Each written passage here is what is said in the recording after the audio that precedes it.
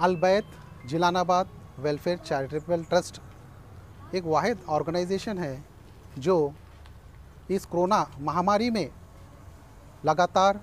मुसलसिल खाना बना के, पैकेट बना के आवाम में जो फुटपाथ पे बैठे हुए लोग हैं, जो माजूर लोग हैं, उन लोगों को ये टीम अपने हिसाब से फाइंड आउट करके और वो गरीब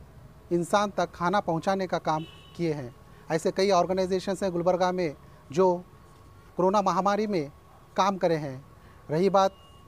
अलबैत की, जो ऑर्गेनाइजेशन है, यहाँ पर जो कमेटी मेंबर्स हैं, ये इतने ज़िम्मेदार हैं कि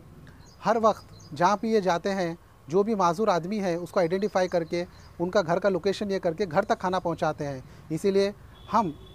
साजिद अली साहब जो सीनियर पॉलिटिशियन हैं, उनके साथी हैं और हम लोग ये सोचें कि ऐसे लोगों को हौसला अफजाई करना है, क्योंकि एक मिसाल है गुलबर्गा में, क्योंकि माजूर आदमी को खाना खिलाना बहुत बात, बड़ी बात थी, जो कोरोना महामारी में जो तकलीफ़ें हमने देखे हैं, ये हमारे लिए एक सबब है। इसीलिए हम ये चाह रहे थे कि ज़िम्मेदारों को शालपूशी करके उनका हौसला अफजाई करना है। रही बात दूसरी, एक दूसरी अपील भी हम करते हैं कि कोरोना अभी गया नहीं है तो गुलबर्गा की आवाम से हम अपील करते हैं कि सैनिटाइज़र मेंटेन कीजिए, सोशल डिस्टेंसिंग मेंटेन कीजिए और